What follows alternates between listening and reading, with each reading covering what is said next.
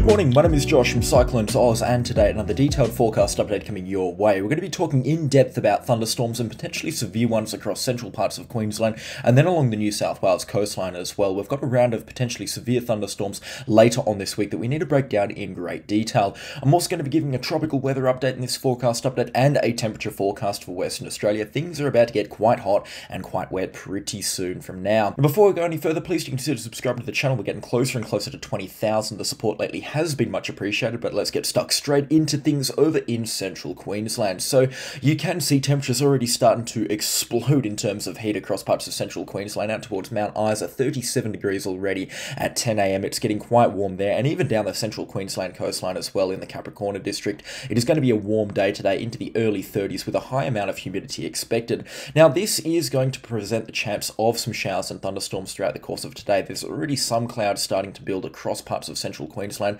and this cloud here could turn into some isolated pulse thunderstorms, especially around the Mackay and Yalboroo area, and then down towards the Bundaberg and Gladstone area later on this afternoon and evening. But the chance of thunderstorms is very small at this time. The majority of this uh, rainfall, if any does fall, is just going to be from some light showers that are going to be passing through the area. And this is all being powered by a low pressure system that's sitting in the Tasman Sea right now and just bringing ashore the conditions that are good for some shower activity and some uh, rainfall activity. However, again, nothing too significant expected. Similar story for Wednesday, just drier and hotter still, but you can see this low pressure system and this trough developing across central Queensland. This becomes very important for the forecast from now on. So let's watch this closely and see what it blows up throughout Thursday, because this is the day that I want to be watching quite closely. Thursday morning, you can see some showers and thunderstorms developing across central parts of Queensland, outside of Roma, north of uh, Roma, and up towards the Taroom, Injune, and Rolleston sort of area in Queensland's uh, self proclaimed thunderstorm alley. You can see temperatures very, very warm across parts of central Queensland as well, especially for this time of year. Up to 42 degrees expected in Winton by 3 pm, 41 for Longreach, and then high 30s to low 40s for a lot of other locations across central parts of Queensland. And with this trough, the conditions are going to be primed from about midday onwards for some thunderstorms to develop, specifically around the Taroom and Injune area. We are expecting a good round of severe thunderstorms to develop there from around midday. These thunderstorms will then continue to track in a northeasterly direction up for the Queensland coastline between Rockhampton, Gladstone, Agnes Water, and Bundaberg, heading for those locations by later on this afternoon and evening, and really becoming some nasty severe thunderstorms by around 5, 6, and 7 pm. Now, these severe thunderstorms are most likely between a location extending from Gympie to the northeast towards Emerald along this line here. This is where the highest chance of severe thunderstorms is, and just taking a look at the storm setup here, I don't want to sound alarmist or anything, but I do reckon there's a good chance of supercell thunderstorms at this time, potentially. Uh, nasty supercell thunderstorms as well, with large hailstones, heavy rainfall, damaging winds, and the isolated risk of twisters or tornadoes across parts of central Queensland. So again, make sure you are staying weather aware, staying on to on top of the radar imagery, especially Thursday afternoon, because things are going to get quite nasty indeed. Now let's break down these thunderstorms for you right now. What is driving them? Of course, we've got this surface trough extending across central parts of Queensland, providing the instability in the atmosphere and the low pressure required to promote these thunderstorms. Um, at least initially early on in the afternoon, but we've also got those temperatures. I mean, just take a look at this. It is going to be hot, not just warm, but hot, 40 degrees, and then high 30s across much of central and even in towards southeastern Queensland. It's going to be well above 30 degrees throughout Thursday. These thunderstorms are going to have plenty of evaporation in the atmosphere to make the most of and really blow up some nasty clouds, which will result in some big severe thunderstorms.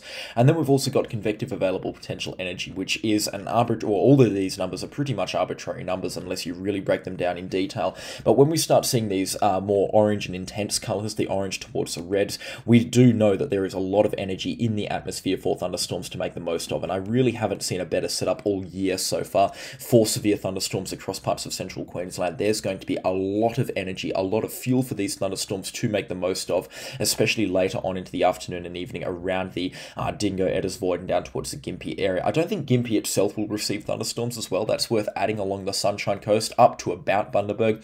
I don't think any of those locations are going to receive thunderstorms or severe weather, but I reckon uh, later on the night. Areas between sort of Hervey Bay, including Bundaberg, Gladstone, Agnes Water, and then up towards Rockhampton, and maybe even Ogmore will get a storm front blow through. Uh, by the time it gets to the coastline, though, it will likely be a high precipitation squall mode, which means rainfall and damaging winds is the main threat, and the risk of tornadoes and large hailstones does dwindle off. But specifically around the Biloela area, and at around 6 or 7 p.m. by the looks of things, just looking at this forecast here, where we have some very intense thunderstorms now on the forecast outside of Biloela and up towards towards Gladstone and Agnes Water, not quite making it to those locations, uh, the, the latter locations just yet. But I mean, just looking at this forecast here, this looks to be the prime area for potentially severe thunderstorms and some nasty supercells later on Thursday evening and into early Thursday night. It is going to be an interesting night indeed. There'll be detailed updates tomorrow and on Thursday morning as well about these severe thunderstorms. Certainly something that you've got to be keeping an eye on, and certainly something that I want to be all over.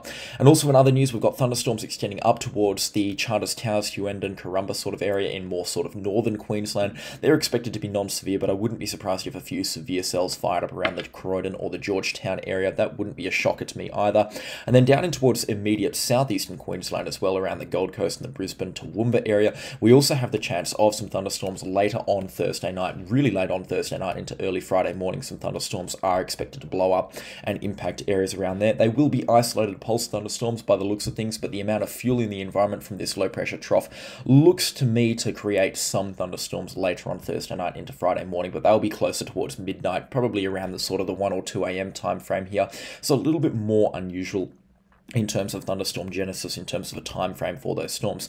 But I mean, take a look at these convective available potential energy values. There's not going to be as much in terms of favorable conditions for thunderstorms, but when you're talking about convective available uh, potential energy values this high, these are very high numbers, might I add, for southeastern Queensland. You can get thunderstorms even on pretty unfavorable uh, weather conditions, and considering the atmosphere is going to be pretty stable along southeastern Queensland, uh, wind shear is going to be quite low as well. The thunderstorms are going to have a hard time blowing up and organizing into powerful ones, uh, but just the convective available potential energy values alone look to be creating that risk of severe thunder, not severe thunderstorms, but pulse thunderstorms across southeastern Queensland.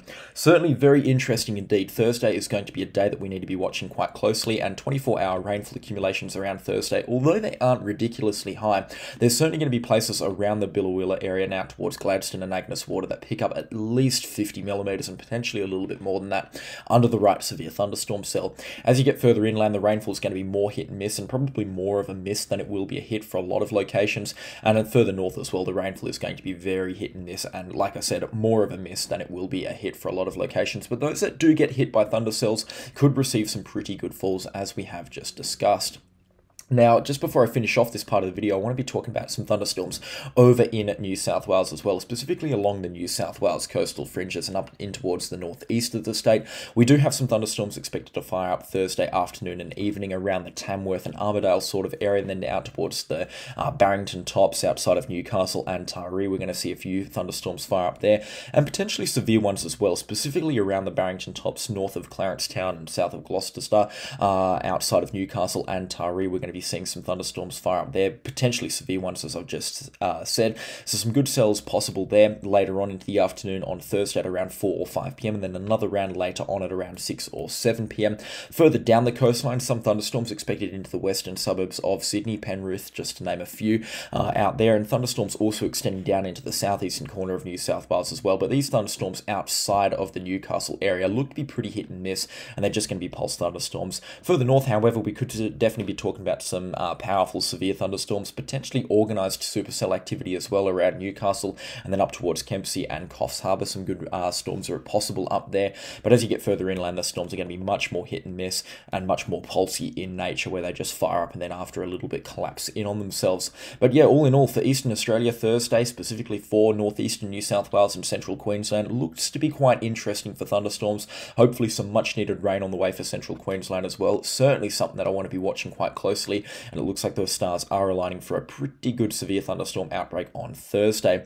And we're not done either with severe thunderstorms, at least for Queensland and New South Wales. Another outbreak is possible this weekend. Across central parts of Queensland, you can see an outbreak of storms possible around Thursday, uh, around uh, Rolleston rather, on Saturday afternoon. Don't know where Thursday came from. South of Emerald specifically, you can see here a few storm cells firing up there.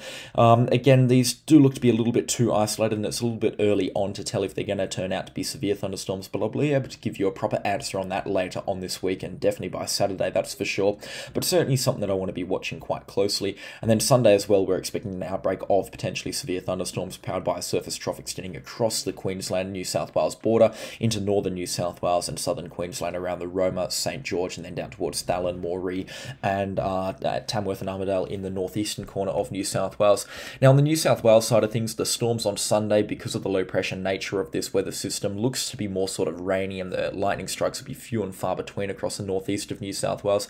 But Saturday, uh, Sunday afternoon, rather, we could be seeing a few good thunderstorms across uh, southern parts of central Queensland, and then extending in towards southeastern Queensland as well later on Sunday night into Monday morning. Looks like they're going to get a pretty good front out of this, to be honest. So it'll be very interesting to see how this one plays out. We could be seeing it, uh, seeing a long track squall line move through parts of Queensland and New South Wales. This is definitely something I want to be keeping an eye on as well, and I'll be able to give you a definite forecast on this by Friday morning. Hopefully, fingers crossed. Depending on there's no major changes in the forecast either. But yeah, again, some pretty good rainfall expected from this weather system as well. Two-day rainfall accumulations between Sunday and Monday look to be very high across the New South Wales and Queensland border, between 60 and 100 millimeters, most likely around that sort of 80 millimeter ballpark. And it is also reciprocated between other forecast models as well, just not to the degree that the Eastern Wave is promoting at this time. So certainly something that needs to be watched quite closely and looks to be a pretty likely scenario now in the forecast.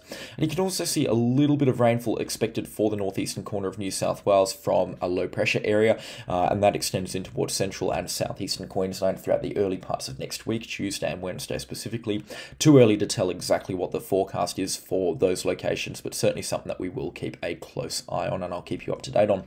But yeah, looking very interesting across parts of Queensland and New South Wales, just with the weather scene. Thunderstorms alone for the next 10 days. We certainly have our work cut out for us tracking the thunderstorms and making good forecasts for uh, residents across central Queensland and New South Wales. I'm going to be on my toes for the next couple of months by the looks of it with the way these thunderstorms are firing up. But let's talk about something a little bit more tropical now. We haven't had any major thunderstorms blow up overnight, especially across the Northern Territory and WA. It was a little bit boring in all fairness.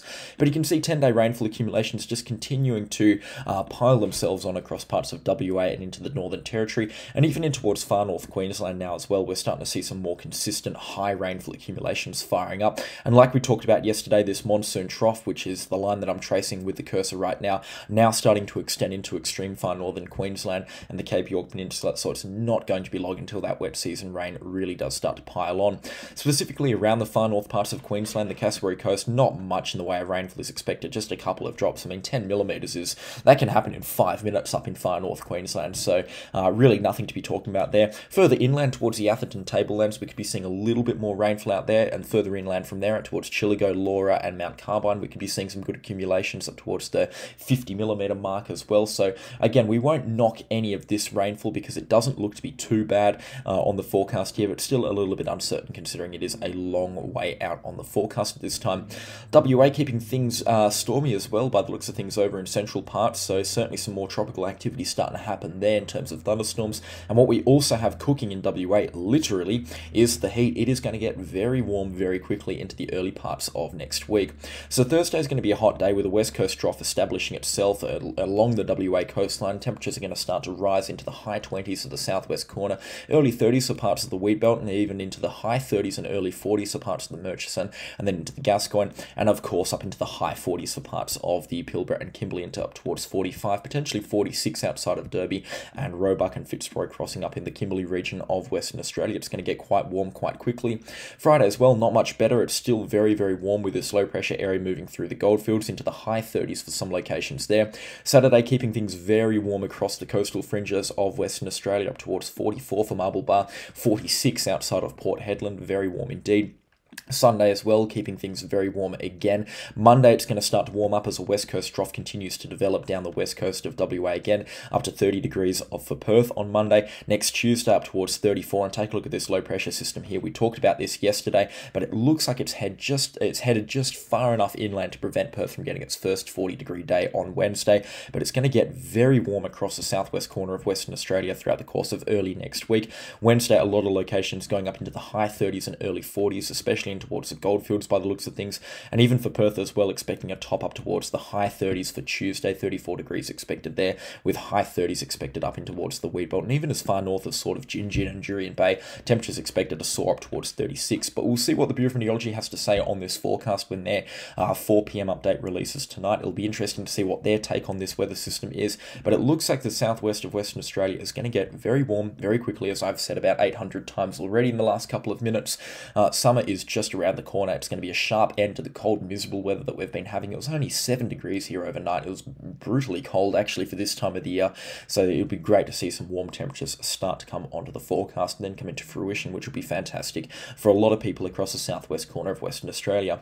But yeah, anyways, that is all that I have time for today. Thank you so much for watching the video to this point. The support lately has been much appreciated. A lot to get through over the next 10 days. We're going to be flat out tracking over into central Queensland and into New South Wales. Then we've got tropics and heat forecasts to give after that, and probably more thunderstorms. I mean, who knows? This time of the year, we're expecting thunderstorms pretty much every single day across parts of Queensland and New South Wales, and especially as we get into November and December, which is peak storm season for them, we're going to have our work cut out for us. So if you haven't already, please consider subscribing. There's no better way to stay updated with the weather than by subscribing to the channel. But that is all for me today, and I'll catch you all in the next storm.